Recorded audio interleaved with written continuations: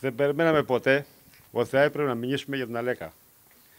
Έτσι όμως πριν τα πράγματα πρέπει να γίνει και αυτό. Και εννοούμε με αυτόν τον τρόπο. Η Αλέκα Μπενάτου δεν, δεν ήταν τυχαίο άτομο. Γεννήθηκε και έφυγε αγωνιζόμενη για την τάξη της και το κόμμα της, το ΚΚΕ. Θα προσπαθήσω όσο μπορώ να πω λίγα λόγια για τα πράγματα που έκανε. Η Αλέκα μας αγωνίστηκε για να υπάρχουν στο τέταρτο διαμέρισμα της Αθήνας ελεύθερη χώρη για σχολεία, νηπιαγωγεία, παιδική σταθμή, με παρεμβάσει στο Δημοτικό Βρεφοκομείο, πάντα πρώτη με χαμόγελο και τεκμηριωμένη θέση. Στο Εξαραστικό Σύλλογο η Αναγέννηση Πολίων, σαν πρόεδρο για πολλά χρόνια και συνέχεια των άλλων διοικήσεων, έκανε αγώνα ζωής για να σωθεί το Βόδρυ, στο Κοροπούλι, να στεχάσει, να στεχαστεί το 1 ΤΕ μετά τους σεισμούς στο χώρο απέναντι από το 53ο Λύκειο και τόσα άλλα.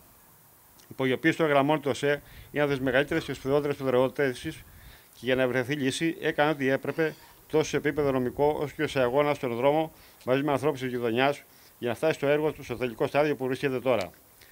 Το κοινωνικό έργο της, εκτός από αυτούς που τους πρόσφερε την ταξική αλληλεγγύη της, το ξέρουμε λίγοι. Η Αλέκα δεν έλεγε πολλά, έκανε πολλά. Εμείς που είχαμε την τύχη να δουλέψουμε μαζί της στο Σύλλογο, στην καθημερινή μάχη για ένα καλύτερο αύριο, χωρίς εκμετάλλευση, μάθαμε τόσα πολλά δίπλα της που πολλοί θα κάνουν μια ολόκληρη ζωή να μάθουν. Ήταν δίκαιη, ανιδωλή, καθαρή, μια κομμουνίστρια με το, με το κάπα κεφαλαίο. Αλέκα, το Διοικητικό Συμβούλιο του Συλλόγου σου λέει καλό δρόμο. Τα δάκρυα δεν σου άρεσαν. Ξέρουμε ότι θα παρακολουθείς την πορεία μας. Η παρακαταθήκη που άφησε θα θηρηθεί κατά γράμμα. Δεν έχει δικαίωμα κανείς μας να είναι κατώτερος των περιστάσεων. Αλέκα θα μας λείψεις και το ξέρουμε όλοι. Όσο για την οικογένειά σου, τους έδωσε αρχές και πάντα έβαζες μέτρο.